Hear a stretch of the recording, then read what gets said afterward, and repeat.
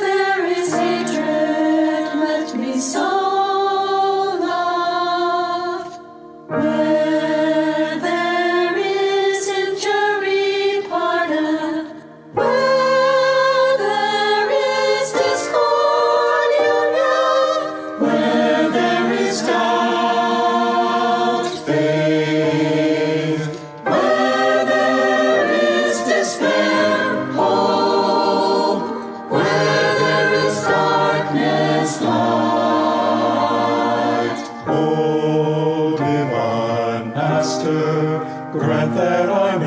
So much seek to be consoled